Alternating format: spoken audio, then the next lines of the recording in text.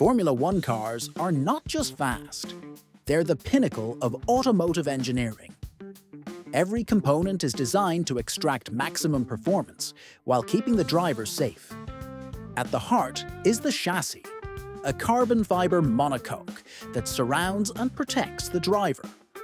It's incredibly strong, yet extremely lightweight.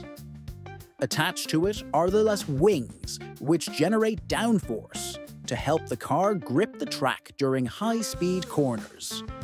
The power unit is a hybrid engine producing over 1,000 horsepower. It combines a turbocharged V6 engine with energy recovery systems, storing and deploying energy to gain extra speed. Managing this power is as much strategy as skill. Tyres are another critical element. Teams choose compounds that balance speed, grip, and durability, and tyre strategy often decides races. Even small changes in pressure or temperature can make a huge difference.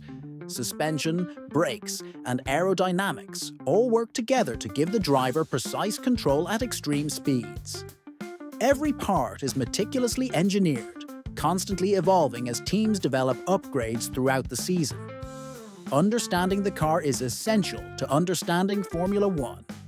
Once you know how these machines work, every corner, pit stop, and overtake becomes even more exciting.